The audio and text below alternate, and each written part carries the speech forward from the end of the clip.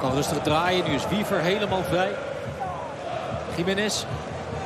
Jiménez. Ach, dan schiet hij toch schitterend binnen. En zo staat het na 34 minuten 2-0.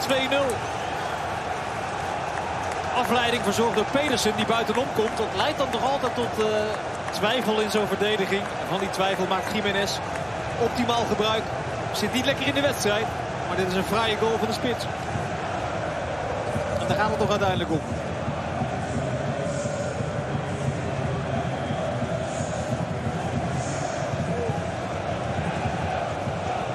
Hier aangespeeld door uh, Wiever Pedersen.